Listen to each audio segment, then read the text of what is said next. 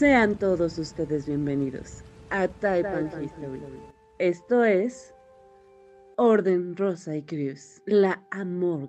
La antigua y mística Orden Rosa y Cruz es conocida internacionalmente como la Orden Rosa Cruz Amorg y en ocasiones como la AMORC o AMORC. Esta es una organización internacional de carácter fraternal, educativo y cultural que conserva las tradiciones, enseñanzas, principios y prácticas humanitarias, características de la antigua y primitiva hermandad, que inició sus actividades hace más de 3.500 años. En el correr de los siglos, sin embargo, ha ido agregando los nuevos descubrimientos y adecuándolos para el hombre y la mujer moderna, con el propósito de estructurar un sistema que le permita conocer y comprender la naturaleza humana, la cosmogonía y su relación con Dios y el universo. La Orden Rosa Cruz Amorg se distingue por no ser una organización política ni sectaria, ni una congregación religiosa, además siendo su lema la mayor tolerancia dentro de la más estricta independencia. Muchos de sus miembros pertenecen a diferentes credos y denominaciones de carácter religioso, a los cuales la orden respeta y alienta plenamente. La Orden Rosacruz Amorg está compuesta por hombres y mujeres dedicados a la investigación, al estudio y a la aplicación práctica de las leyes naturales y espirituales. Los Rosacruces son personas de todos los niveles sociales, económicos, económicos, culturales,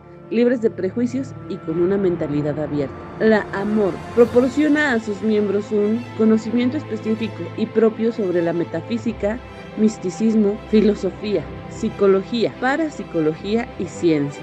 Además, la Amor ofrece a sus miembros son aplicables en todos los asuntos del quehacer cotidiano. Las enseñanzas de la Amor no pretenden dictarle a usted lo que debe de pensar, no le ofrecen un sistema religioso ni decretos dogmáticos, sino que desean que cada estudiante de la Rosa Cruz tenga un enfoque personal y práctico de la vida, aprendiendo a dominarla valiéndose de sus propias experiencias. Su símbolo tradicional es una rosa roja en el centro de la cruz dorada. En este símbolo, que no tiene connotaciones de tipo religioso, la rosa roja simboliza el alma del hombre evolucionado, progresivamente en contacto con el mundo material, y la cruz dorada representa al cuerpo físico del hombre. Según la propia orden Rosa Cruz Amor, el propósito de la misma es la de proporcionar a todos sus miembros los medios físicos, mentales y espirituales para que todos vivan en armonía con las fuerzas cósmicas creativas y constructivas del universo y lograr obtener como última meta la salud, la felicidad y la paz profunda.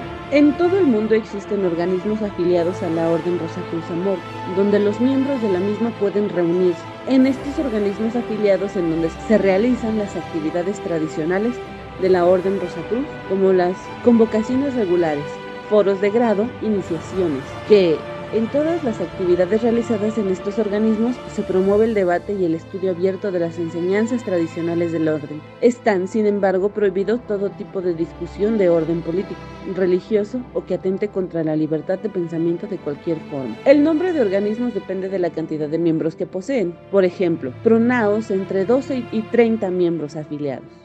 Capítulo entre 30 y 50 afiliados. Logia más de 50 miembros. Un pronao se convierte en capítulo se aumenta la cantidad de miembros y lo mismo sucede convirtiéndose finalmente en logia. De forma inversa, una logia puede convertirse en capítulo o pronamo si ve mermados el número de sus miembros. Estos organismos están afiliados a una gran logia. En el caso de Latinoamérica, esta gran logia tiene sede en México y recibe el nombre de Gran Logia Hispanoamericana, jurisdicción de habla hispana para las Américas.